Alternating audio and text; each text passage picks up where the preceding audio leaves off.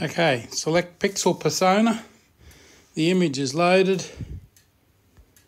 Now select, not flood selection, but select sampled colour. There we go. And you can see now I've just tapped in the centre there to make sure it's got the right one. Then you go up to the tick at the top. There we go, that's selected OK. Go back to there.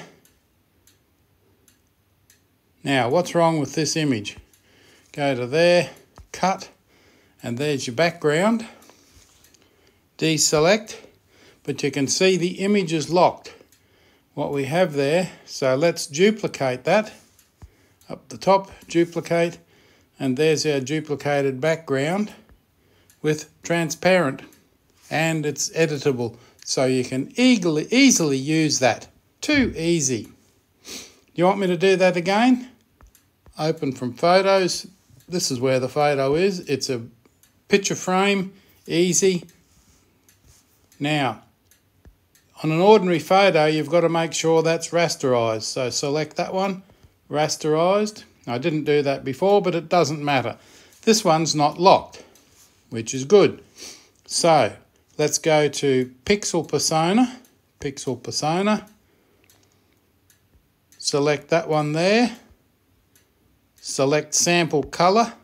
Goes all funny like that. Now up the top there, there's a tick. See a tick and a cross right at the top. There we go. There. Now you're still in Pixel Persona. Go to there, go to cut, and the background's gone. Now you don't want all the crawling ants, so down the bottom left hand side, press the X. And there's our no background picture frame. Very good. Go back, there it is. Save as.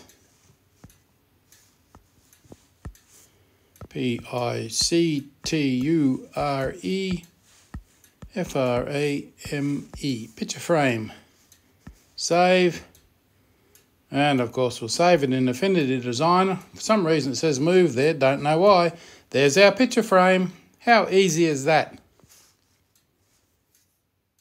Thanks for watching.